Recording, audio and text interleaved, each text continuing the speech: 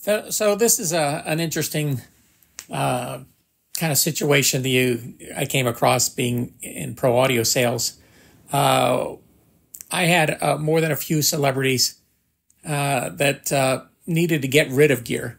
You know, they weren't using it anymore, or maybe they they needed some money or something like that, and they reach out to me and they say, you know, can you take it in on trade, or can you help me get rid of it? And uh, sometimes I could take it in on trade and you know work out a deal, and but I, I would always find a home for it before I took it in on trade.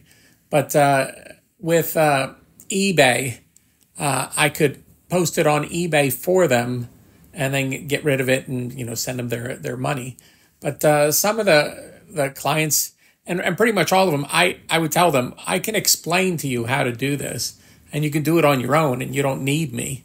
Uh, there's no reason I need to make money off of selling gear for you if you could sell it yourself.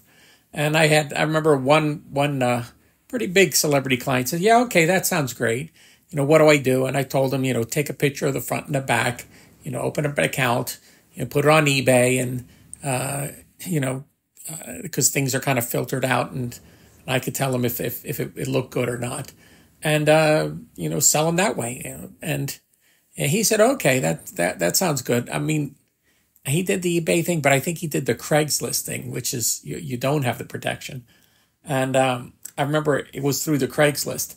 He got somebody who wanted to buy uh, a compressor he had, and the guy asked him to meet him in the parking lot, and he would give him the cash. And he's a pretty big celebrity, but he said, "Oh, sure, I'll do it."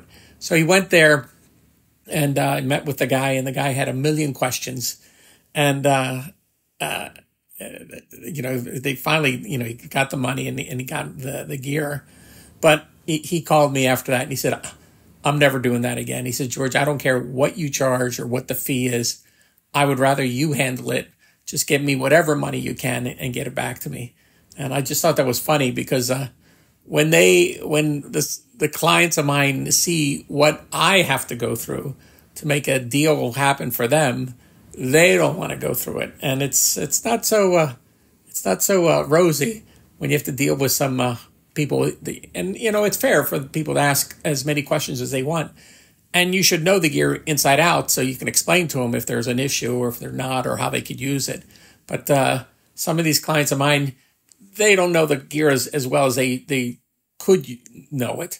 And uh, asking all those questions and they're just you know used to having you know an entourage around them and security and all that and they just decide to do something by themselves and it doesn't turn out the way that it should. I, I just thought that's funny, but that's how uh, a lot of the clients would say, you know what, you take care of it. I don't care what it costs. Just take care of it and take care of take care of it. Uh, uh, you know, for me.